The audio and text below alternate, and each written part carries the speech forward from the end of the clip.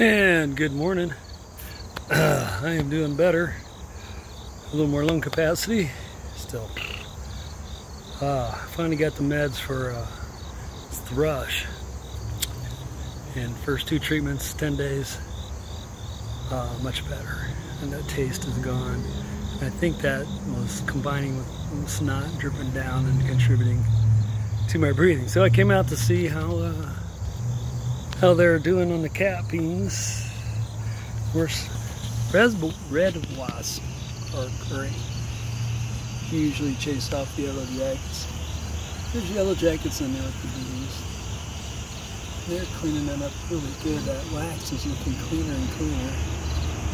So they may end up carrying it off. And putting it in the hive, I don't know. And these aren't necessarily all my bees.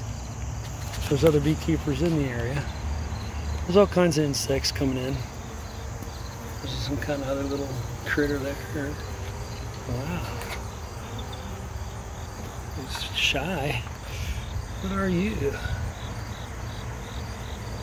Some kind of little wasp, maybe. Uh, so there's wasps and yellow jackets.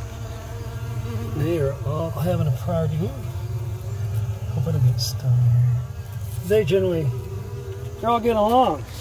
Wasps and yellow jackets. Yeah, it's like the new heaven and new earth will be, you know? So, enjoy.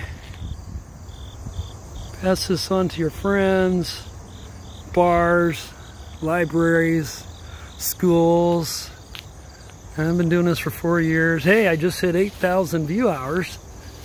That's awesome. It's just an achievement. It don't count towards monetization.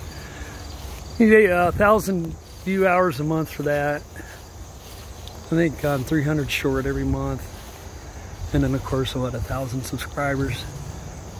So, I said, you know, there's not a lot of popcorn moments, but it is interesting. And I'm kind of a goofy guy. And it ain't gonna be all beekeeping. Um, like I said, there's, I have found gold in the, uh, along this creek bed very quickly. Kind of flipped me out. So there'll be that. Son and I are gonna, proud my daughter, and uh, even the son-in-law's into it. We're gonna get back into caving, cave exploring, wild caving.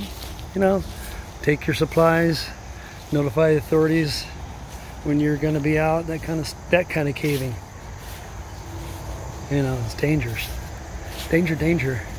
And I've done, I've maybe done level four. I haven't hit really level five stuff yet.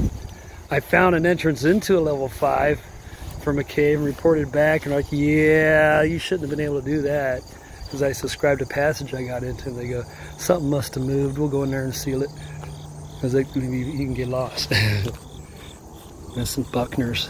And it leads into Triple J.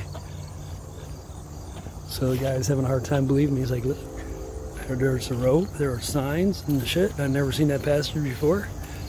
Uh, I never got confirmation. All right, well, that's it. Have a great morning.